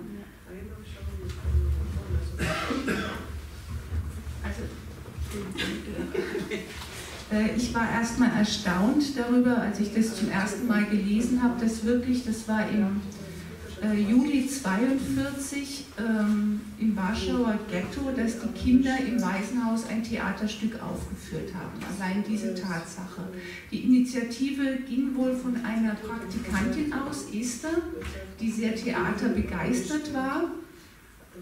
Äh, und zusammen mit Janusz Korczak dieses Theaterstück ausgesucht hat. Äh, und natürlich liegt es dann ganz nahe, dass man überlegt, warum gerade dieses Theaterstück. Es ist, wie du gesagt hast, von, von Tagore. Äh, und es handelt sich da um einen Jungen, der sehr krank ist. Er heißt Amal äh, und im Bett liegt und jeder weiß, der Junge wird sterben. Ob es der Junge jetzt selbst auch weiß, ist nicht sicher. Ähm, aber es ist das ganze Theaterstück durchzieht eine sehr große ähm, Ruhe. Äh, das Bett von dem Amal steht am Fenster und am Fenster ziehen ganz normale Menschen vorbei. Ein Milchverkäufer, eine Tänzerin, eine Blumenverkäuferin. Und die begreifen, und das ist das Wunderbare an dieser Geschichte, ganz schnell die Situation des Jungen und nicht nur die Situation, äh, sondern auch die Art des Jungen, äh, wie er mit seiner Situation äh, umgehen kann. Ähm, sie erfüllen sozusagen durch Worte die Wünsche des Jungen, die er noch hat. Äh, dem Milchverkäufer erzählt er zum Beispiel, das ist eigentlich mein Lieblingsberuf. Milchverkäufer will ich werden, so in die Berge ziehen und die Milch ausrufen. Und dann äh, versteht, es, versteht es dieser einfache Milchverkäufer, den Jungen durch Sätze mit auf eine Tour zu nehmen. Oder die Tänzerin zeigt ihm ein paar Schritte und sie singen zusammen, sodass äh, der Junge alle seine Wünsche, die er noch hat, erfüllt bekommt und er in Ruhe und glücklich einschlafen kann. Äh, das war für mich im Grunde, es liegt auf der Hand, eine ganz klare Vorbereitung der Kinder auf den Tod. Äh, und ich, ich habe mich jetzt gerade erinnert, es gibt ein bekanntes Buch von Bashevis Singer. Der ist am Ende äh, ein verzweifelter Mann, ähm, auch im Warschauer Ghetto, der nur Tod um sich sieht und, und nur den Gedanken hat, es ist zu viel für mich, ich kann nicht mehr. Äh, und in diesem Moment kommt ihm aber ein anderer Gedanke in den Kopf, eine, fast eine mathematische Formel, aber das ist so ein, so ein tröstlicher Ausgang, was Schlomi auch gesagt hat, man muss einfach da sein. Und die Formel heißt, Tod ist gleich Messias, also die absolute Gleichsetzung äh, nichts mehr, was übersteht. Wenn du so bist, dann passiert das. Wenn du so bist, dann passiert das. Äh, die Kinder brauchten wirklich jetzt die, die absolute Sicherheit, dass etwas passiert, aber sie fallen in eine offene Hand.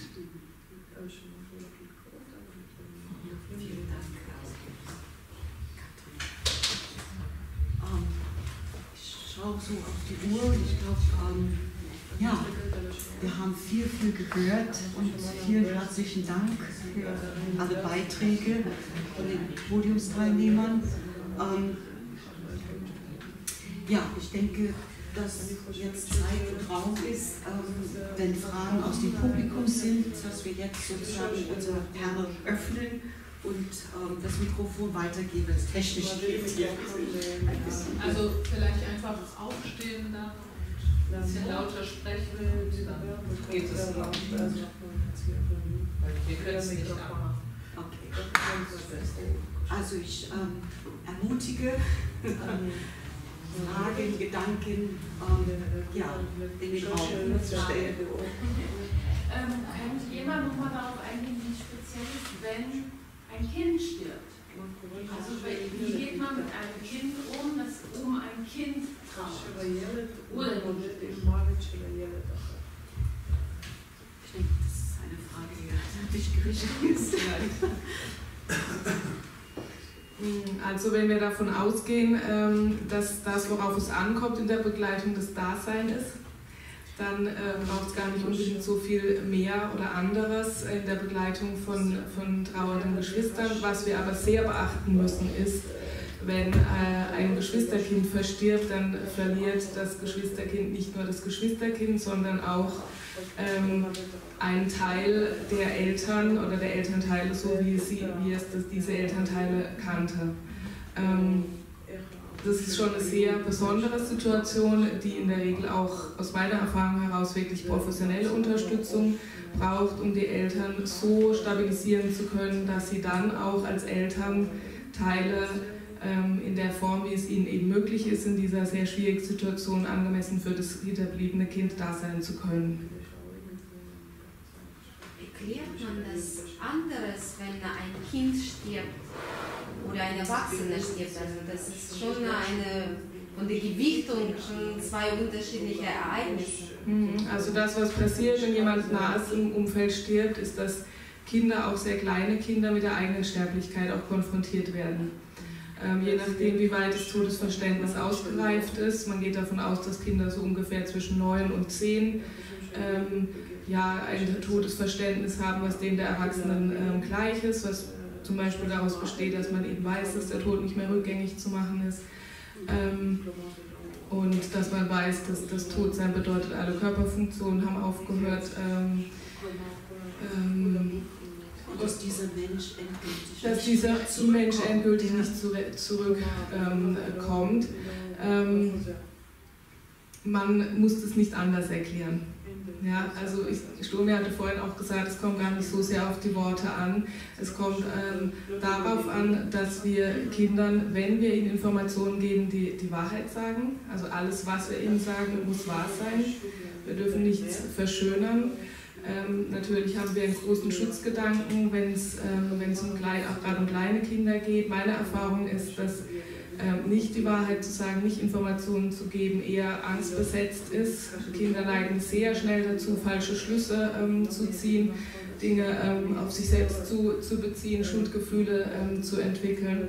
Das heißt, wir müssen mit Kindern, die ein Geschwisterkind verlieren, nicht anders sprechen als mit Kindern, die einen Elternteil ähm, verlieren. Es geht darum, altersangemessene Informationen zu geben, den Raum zu öffnen für Fragen, Gesprächsbereitschaft zu signalisieren diese Gesprächsbereitschaft auch immer wieder zu wiederholen, weil wir nicht davon ausgehen können, dass Kinder ganz lang sich behalten, dass dieses Gesprächsangebot da ist. Und dann auch, ähm, finde ich auch einen wichtigen Punkt, äh, den du schon, den Schlomi schon gesagt hat, auch zu akzeptieren, wenn wir nicht die richtigen Ansprechpartner sind für diese Fragen. Und dann aber gerade bei kleinen Kindern gut zu schauen, welche Bezugsperson könnte es denn noch geben, der diese ähm, Gespräche mit, mitführen könnte. Can, can I yes. relate to this question as well?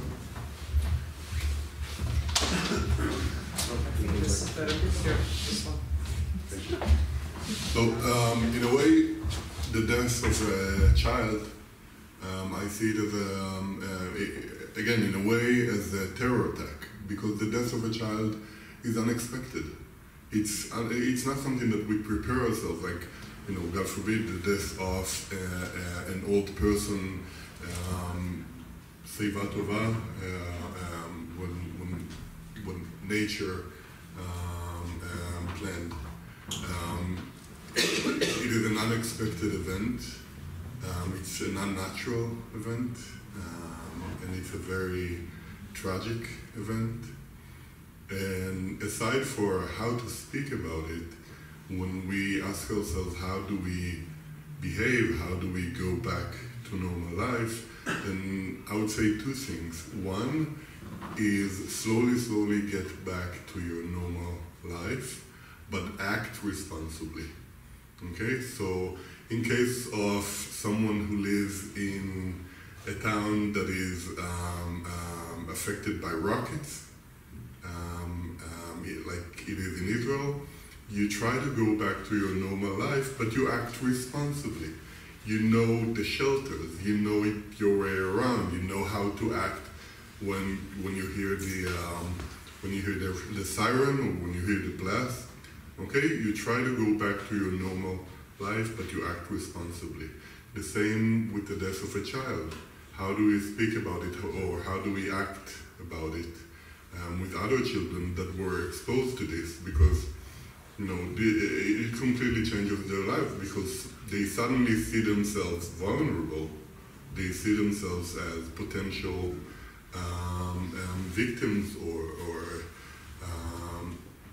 and, and, and again, the way to do it is to, to say, this is what happened, okay?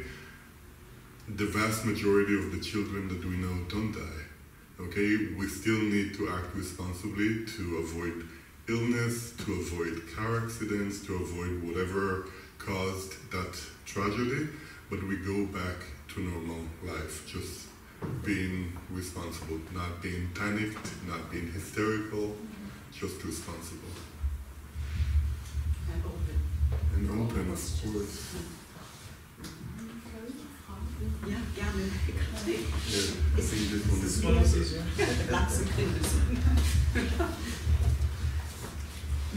Was, was von der Janusz Korczak-Pädagogik ja auch angestrebt ist, ist, dass der Erwachsene durchaus äh, den Kindern einiges zutrauen kann. Und dazu gehört auch, dass der Erwachsene, der jetzt mit diesem trauernden Kind zu tun hat und der ja auch selbst trauert, ähm, das dem Kind gegenüber zeigen darf.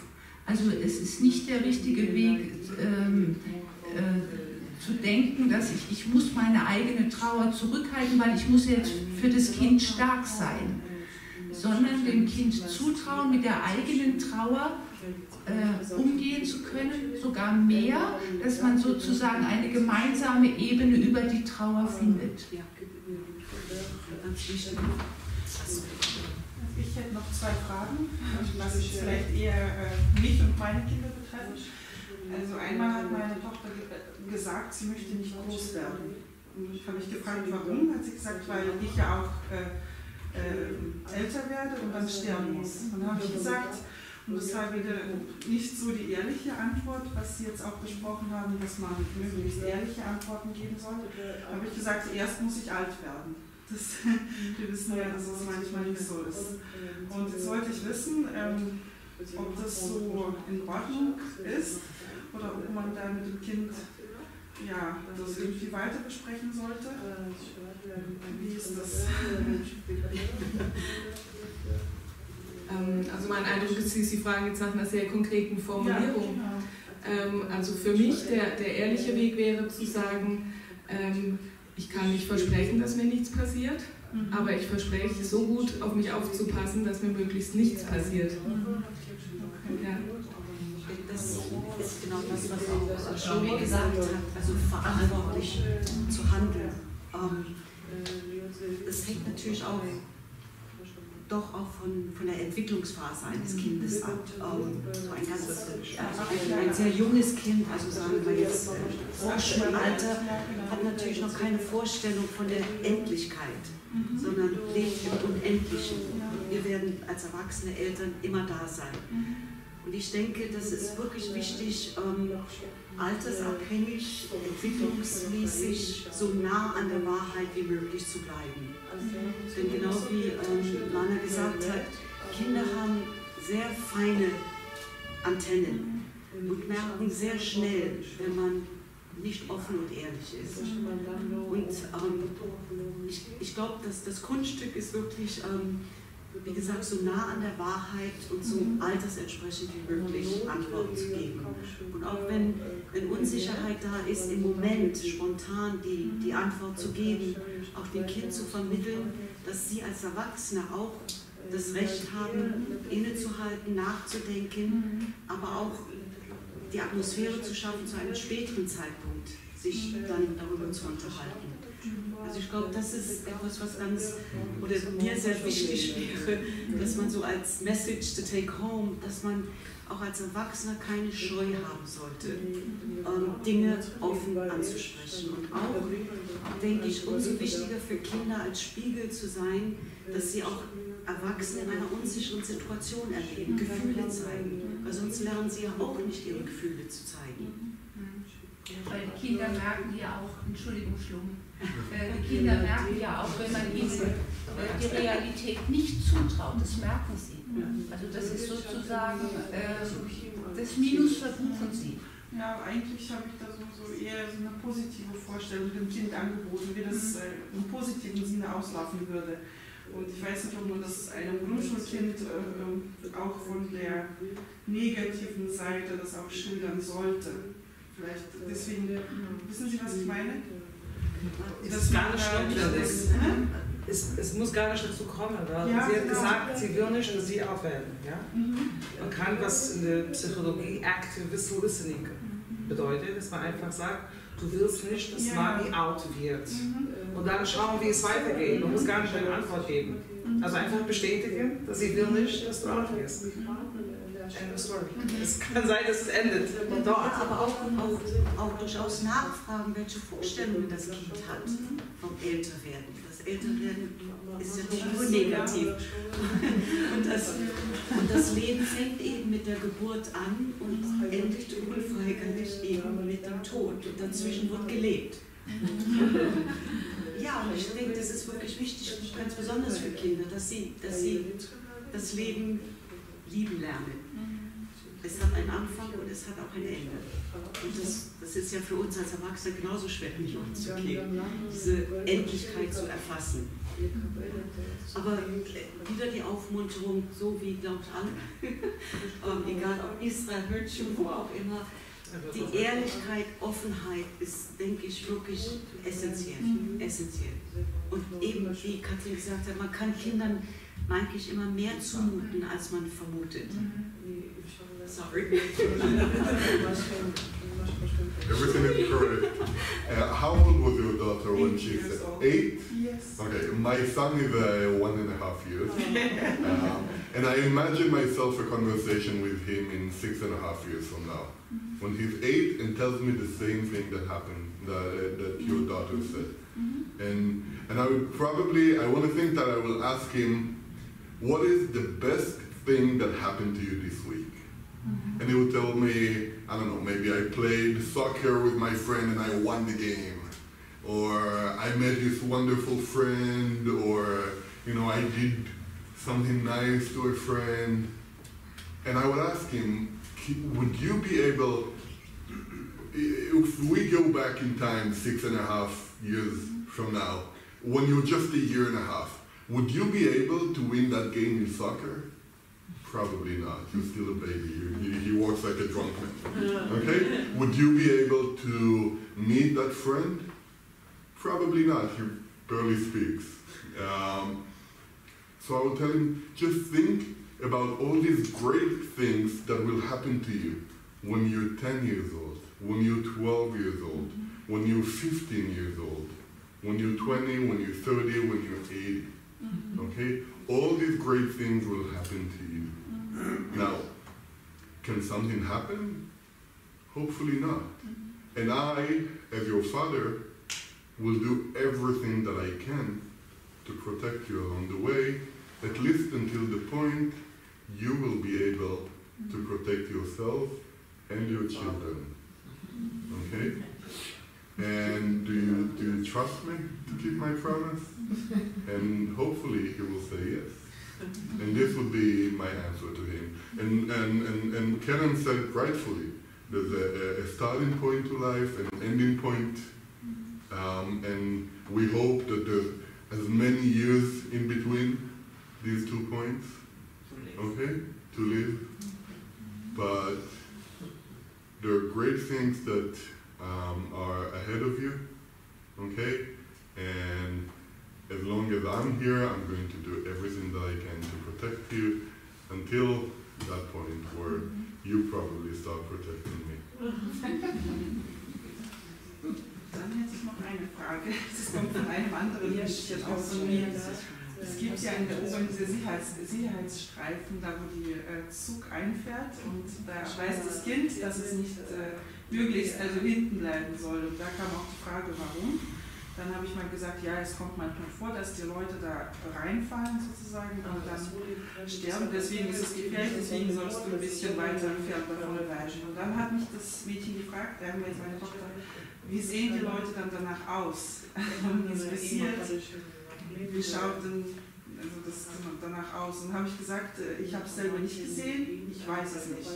Und das war wieder die ehrliche Antwort, aber eben nicht so viel Info, wie Sie gesagt haben. Aber auch die Frage, äh, soll man da so viel Info drauf dazu geben? War Ihre Tochter denn zufrieden mit der Antwort? Ja. Ist okay. Ich würde noch Fragen folgen. Ich finde, eine gute Faustregel ist immer die Frage zu beantworten, die gestellt wird. Und man kann sich darauf verlassen, dass die nächste Frage kommt, wenn, wenn eben das Angebot gemacht wird.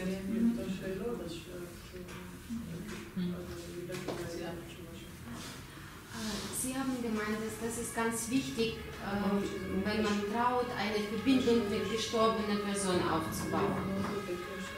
Die Frage ist, ob die Trauer unterschiedlich aussieht, ob der ähm, Verbindung schon vorher kompliziert war, konfliktvoll, oder es war eine gesunde Verbindung, also vertrauensvoll und liebvoll. Wie haben Sie das äh, gesehen? Das ist eine interessante Frage. Ähm, meine Erfahrung ist, ja, es macht einen Unterschied. Es verkompliziert tatsächlich den Trauerprozess manchmal, wenn die, wenn die Beziehung ähm, vorher schon sehr, sehr schwierig war. Ähm, es geht aber in jedem Trauerprozess darum und auch bei dem, ähm, bei, der, mh, bei dem Aufbau der Verbindung, einer inneren Verbindung, eines inneren Bildes auch ein realistisches Bild des, ähm, des Verstorbenen zu zeichnen. Ja, wir neigen insbesondere am Anfang dazu, den Verstorbenen zu idealisieren. Und es ist hilfreich für die Trauerbearbeitung zu einem realistischen Bild. Äh, das heißt, wie war der Verstorbene tatsächlich, wie war unsere Beziehung tatsächlich in der Realität zu, diesem, ähm, zu dieser Vorstellung auch ähm, zu kommen oder zu diesem realistischen Bild zu kommen. Und dazu gehört auch diesen konfliktbeladenen Teil mit, mit einzubeziehen. Und da gibt es vielleicht zusätzlich zu der Trauer um den Verlust noch die Trauer darum, dass es eben eine konflikthafte Beziehung war. Und, es und diese, möglich zu lösen. und es, genau, manchmal ist es nicht, nicht zu lösen. Ja.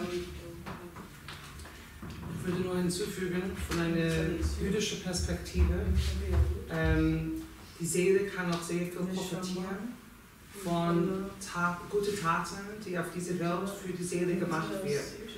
Das heißt, wenn man irgendwelche Schuldgefühle hat derjenigen Person gegenüber oder man will jetzt eine Beziehung sozusagen ähm, wieder gut machen oder sogar noch vertiefen oder ähm, noch erhalten, dann kann man äh, mit Zwot, also gute Taten für diese Seele sozusagen äh, machen in Widmung oder in, in, in, der, in der Erinnerung für Verstorbene. Und das zählt sehr, sehr viel für diese Seele. Und ich glaube, das, das hilft sehr vielen Leuten im Trauerprozess, dass die denken, sie können noch was machen auf diese Welt für den Verstorbene.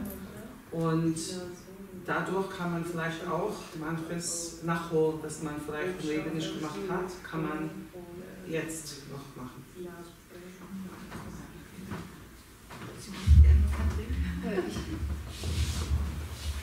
Ich wollte nur darauf hinweisen, so auch als Beruhigung, äh, wenn es jetzt losgelöst von einem speziellen Trauerfall, dass einfach solche Fragen kommen, die die Eltern vielleicht irritieren, dass man sich einfach auch an dem Interesse freut. Also es ist, geht auch vom Tod geht eine Faszination aus. Und, jede, und alle Fragen, die, die kommen äh, von Kindern, sind einfach Ausdruck von einem Interesse und sind etwas Gutes.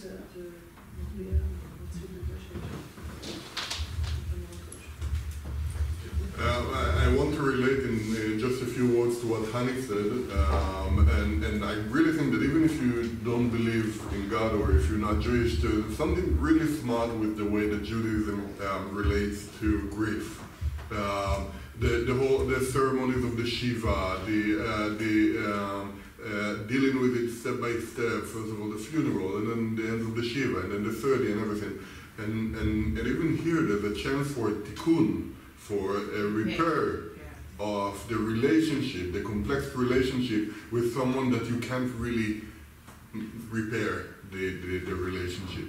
Um, my um, two cents, okay, to what Hani said, is that uh, if you detach this idea from Judaism, you can do it, still do it with universal um, um, um, ideas. And one example is that um,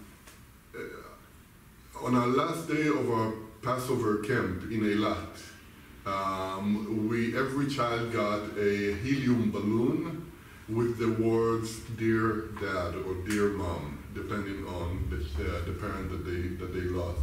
And they were able to write a letter or something that they wanted to say but they weren't able that they didn't you know it happened too fast so they they still wanted to say something. They, they still wanted you know a, a, an opportunity for closure it's not being done with a real person but it's still being done within the real person that i am today okay and and and this is this really helps them. It can be with the helium balloon, balloon. It can be with writing something, writing a letter and throw it to the ocean, or or anything that can um, and uh, uh, even in an imaginary world can get you closer to a, a, a real closure with a person that is no longer with us.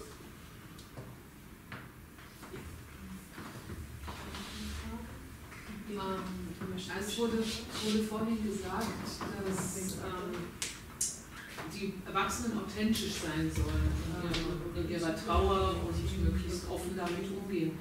Wie schafft ihr die Balance zwischen der Offenheit des Erwachsenen und der Verantwortungsübernahme durch das Kind? Das würde mich interessieren, speziell auch wenn Kinder vielleicht im Kontext von Krieg und äh, Gewaltverbrechen dann ähm, den Platz vielleicht einnehmen von dem verlorenen Elternteil äh, in der Familie.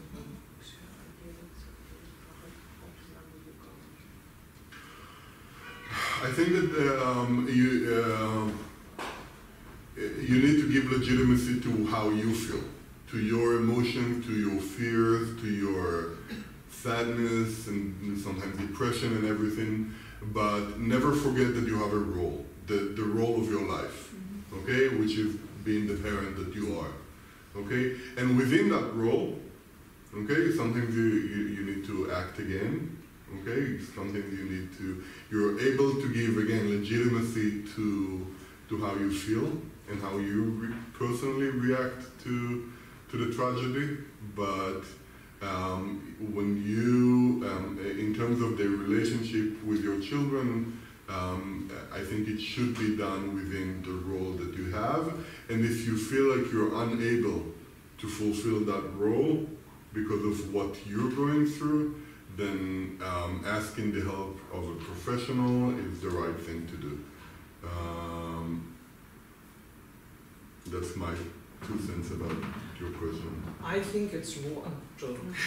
Ich finde es falsch zu erwarten von einem Kind eine Rolle der Ehepartners zu übernehmen.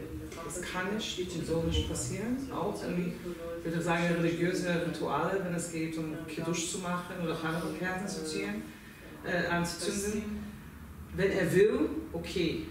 Aber er soll nicht jetzt unbedingt ähm, dazu gezwungen werden.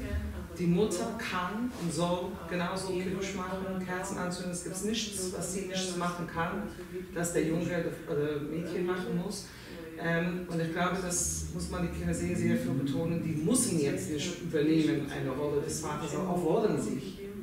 Ähm, und das sollte man eher, ich glaube, discouragen. Ja, ich denke, das ist ein wichtiger Aspekt ähm, in diesem Prozess und dazu neigen dann Kinder eben Ersatzpartner werden zu wollen, den Elternteil zu schützen, ähm, aus welchen emotionalen Gründen auch immer, dass das natürlich eine absolute Überforderung ist. Und dass man, denke ich, darauf achten sollte, auch für sich selber da Entlastung zu schaffen, Hilfspersonen hinzuzuziehen. Und dem Kind je nach Alter natürlich zu vermitteln, dass ähm, man immer noch eben die Eltern, also hat, ja, immer noch die Verantwortung hat, auch wenn man alleine dann übrig geblieben ist sozusagen. Aber ich denke, es ist ganz wichtig, dem Kind, Jugendlichen zu vermitteln, dass man für sich sorgen wird. Dass das nicht die Aufgabe des Kindes ist, für den Elternteil zu sorgen. Dass man diese Verantwortung für sich selber übernehmen sollte. Und da gibt es ja wirklich, wie wir jetzt gehört haben, ganz viele unterschiedliche Möglichkeiten, sich wirklich professionelle Hilfe dann auch. Es muss auch nicht professionell, sondern im Familien-, Freundeskreis Ersatzpersonen zu finden, die so ein bisschen ein Stück weit die Rolle des anderen Elternteils mit übernehmen können. Das, das muss das Kind dann auch wissen, ja, dass, der, dass der Elternteil sich Hilfe holt. Ja. Also wirklich auch explizit zu sagen, ähm, das ist eine Situation, mit der müssen auch Erwachsene nicht allein zurechtkommen. Das ist eine Situation, da haben wir ein Recht drauf, uns Hilfe zu holen und ich hole mir Hilfe. Ich denke auch im Sinne von also, Rollenbild, ja, dass das Kind auch lernt, wenn ich in einer Notsituation bin, es gibt Möglichkeiten, Hilfe zu bekommen. Das ist insgesamt sehr wichtig. Also nicht nur was Sterben und Tod anbelangt, sondern eben auch im Krankheitsfall. Ähm, man muss nicht alleine sein. Es gibt wirklich inzwischen wirklich, es gibt auch eine Liste, ähm, wohin man sich wenden kann, um Unterstützung, professionelle Hilfe wenn möglich auch zu bekommen. Ich denke, das ist vielleicht auch wirklich mit unser auch eine wichtige Botschaft mit nach Hause zu nehmen. Man, man glaubt zwar alleine zu sein, aber man ist es nicht. Es gibt Hilfe, ich glaube, es hängt von der Bereitschaft ab, diese Hilfe anzunehmen. Ich glaube, da war noch eine Frage, das blendet Wir haben jetzt viel über plötzliche Tod gesprochen. Was ist denn, wenn äh, mein Elternteil krank ist? Wann ist der Moment, wo man weg von der Hoffnung geht oder den Kindern vermittelt, es gibt noch wenig Hoffnung und es ist eine Tod gehen. Also wann, an welchem Zeitpunkt verlasse ich den Pfad der Hoffnung und wann ist es wichtig, ähm, sich den Tod zu da Erfahrungen soll ich ja, wir können ja alle zusammen. Also ich verstehe Ihren Wunsch auf ähm, eine allgemeingültige Antwort. Ich tue mich sehr schwer damit, weil auch das etwas sehr gibt es auch nicht. ähm, also das muss tatsächlich ähm, individuell erfragt, erspürt werden. Man muss als Elternteile schauen, wann man sich das zutraut, mit, welch, mit welcher Hilfe man sich die Information für das Kind zutraut. Sowas muss man auch nicht alleine machen. Man kann es gut vorbereiten mit Menschen, die sowas in der täglichen Arbeit machen. Und ähm, in dem Moment, wo das Kind in den Prozess mit einbezogen ist, ab dem Zeitpunkt, wo es vielleicht eine schlimme Diagnose gibt und das Kind die Möglichkeit hat nachzufragen, wird es wahrscheinlich auch nachfragen, wird der Papa sterben? Ja, diese Frage wird kommen, wenn, die, wenn, wenn, Eltern, wenn es Eltern gelungen ist, den Raum zu öffnen für diese Frage. Und wenn diese Frage kommt, dann muss sie meiner Erfahrung nach auch ähm, ehrlich beantwortet werden, so schwer es dann auch ist ähm, vielleicht eine Erfahrung, die ich gerne weitergeben möchte, weil das so ein Beispiel aus meiner Arbeit ist, die mir so, so in Erinnerung geblieben ist. Da kam eine Großmutter zu mir, die nach dem Tod beider Elternteile ihrer Enkeltochter ähm, die ähm, ja, über die, übernommen hat, dass das Kind bei ihr lebt. Dieses Kind ähm, war dabei, als Ähm, als, der Vater verstarb, war sie noch sehr klein, äh, das wusste ich auch. Ähm, und als die Mutter dann verstarb, war das Kind dabei, als, sie, ähm, als man sich verabschiedet hat im Krankenhaus. Das Kind war dabei, als die Beerdigung war. Und nach, ich glaube, so acht Monaten kam die Großmutter in die Beratungsstelle und hat gesagt, dieses Kind reagiert überhaupt nicht. Die macht so, als würde es normal weitergehen. Und erst im Verlauf des Gesprächs wurde dann deutlich, dass dieses Mädchen zwar alle diese Ereignisse mitgemacht hat, an der Hand der Oma mit dabei war, ihr aber niemand erklärt hat, dass die Mutter gestorben ist. Ähm, also sie hatte sicherlich irgendwie eine Ahnung davon, Krankenhaus bedeutet vielleicht krank, aber dass diese Mutter nicht wiederkommen würde, hatte ihr niemand gesagt. Das heißt, wir konnten davon ausgehen, dass das Mädchen wahrscheinlich acht Monate lang gehofft hat, die Mutter würde wiederkommen. Also das möchte ich einfach so als Beispiel erzählen ähm, dafür, wie es laufen kann, wenn wir Kindern eben nicht die Information ähm, geben, aus einem oft nachvollziehbaren Schutzgedanken heraus. Und zu dem Zeitpunkt gibt es, wie Sie auch schon sagten, leider kein, kein, ähm, ja, keine allgemeingültige Antwort. Ich denke, was Sie, also was angekommen ist, ich denke, wenn man als Erwachsener diesen Zeitpunkt erfasst hat und man es wirklich, wie Sie sagen, man sich von der Hoffnung verabschieden muss, dann ist das der Zeitpunkt, die Kinder entsprechend Alter natürlich mit einzuweihen. Weil ich denke, wirklich wichtig, diesen Prozess auch mitgehen zu können. Genau wie, sie, wie, wie, gesagt wurde, nicht, dass Kinder zurückbleiben in der Vorstellung, wie ich es auch in einem der Bücher gelesen habe, dass gesagt wird, der Papa ist gestorben und das Kind fragt im gleichen Atemzug, wann kommt er denn wieder? Also dieses Verständnis, was es heißt, ähm, eben vorhin erwähnt, ähm, die, die Erfassung der Endlichkeit, das ist wichtig zu vermitteln. Und dass wir als Elternteil nicht die Garantie geben können, dass wir immer da sein werden. Durch Krankheit, durch Unfall, Terror, wie auch immer. Ich habe auch von einigen Kindern gehört, dass die sind recht böse mit den, ähm, auch der verstorbenen äh, Elternteil, aber auch die, die äh, übrig gebliebene Teil, dass man denen nicht gesagt hat, dass es so weit ist, dass derjenige sterben kann. Und wenn man hätte ihnen gesagt, hätten sie sich vorbereitet, die hätten noch besprochen mit derjenige, bevor er sie stirbt, ähm, ob sie irgendwelche Weisheiten hat, auf dem Weg mitzugeben, ob sie irgendwie irgendwas von ihr Leben geben kann, dass es eine Erinnerung bleibt. Das heißt, ein Kind mindestens, ich würde sagen, ab 9, 10, wo er ein bisschen versteht, um was es geht, sollte man schon sagen, wie ernst die Lage ist. Natürlich hat man immer Hoffnung. Von einer Seite ist man realistisch. Von einem jüdischen Sichtpunkt muss ich sagen, musste Hoffnung als letzte sterben. ähm, man betet und man hofft, dass es immer noch ein Wunder passieren kann, auch wenn man realistisch sein soll, dass es wahrscheinlich nicht passieren soll, äh, kann. Ähm, und wenn möglich, sollte man auch dabei sein, wenn also das äh, Tod passiert. Es gibt auch Gebete, dass man sprechen kann und so weiter. Das ist auch, wenn man dabei ist und man sieht alles, was passiert ist, dann führt man auch ein bisschen mehr ins also einbezogen und ich glaube, gibt es viel weniger dann zu bearbeiten nachher. Von, ich wusste gar nicht, plötzlich ist es passiert, was mache ich jetzt?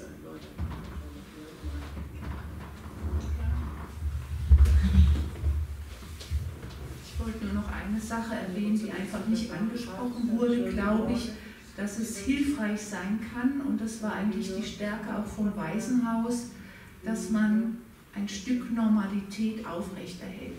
Wie, traurig oder schlimm die Situation gerade ist, dass man versucht, äh, Normalität äh, aufrechtzuerhalten. Ich glaube, korrigiert mich, äh, dass die Schiebe auch unterbrochen wird, wenn der Schabbat kommt. Genau. Das ist, äh, ist auch eine Normalität, die einen spüren lässt, es bleibt etwas konstant im Leben und es geht weiter.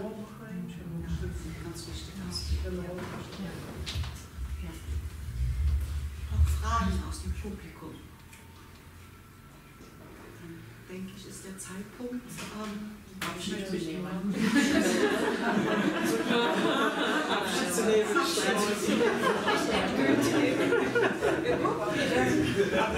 Ja, vielen, vielen Dank, dass Sie sich so Pflege beteiligt haben und auch das Publikum.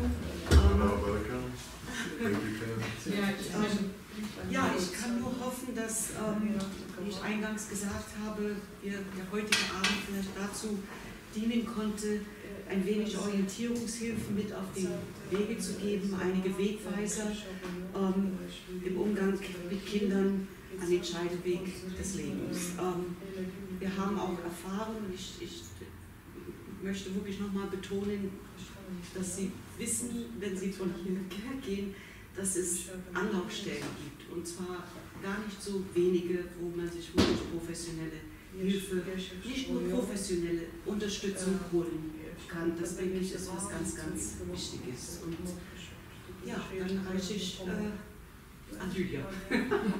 Also vielen Dank erstmal, Karen. Und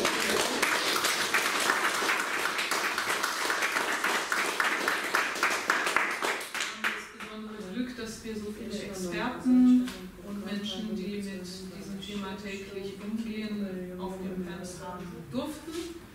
Auch ans Publikum vielen Dank für die offenen Fragen und den Umgang mit dem Thema. Das ist, glaube ich, eine gegenseitige Bereicherung. Und äh, ja, ich hoffe einfach, dass jeder ein bisschen was mitnimmt, ein Stück weit vielleicht Fragen beantwortet bekommen hat. Und ähm, dann wollte ich nur kurz sagen, hier ist das restliche Programm für die Janusz Korczak-Tage. Das liegt hier vorne und wir haben noch zwei pädagogische Veranstaltungen am 19. und am 26. Juni in Kooperation mit dem Jugendinformationszentrum. Eins ist ein Film über Korczak und das andere ist ähm, ein Workshop zu Methoden, die Korczak vermittelt in pädagogischer Hinsicht und dann natürlich das Postamt als Musik, musikalisches Liedspiel. Mhm. Vielen Dank nochmal an alle und auch an die Übersetzung, das war nicht leicht. ja.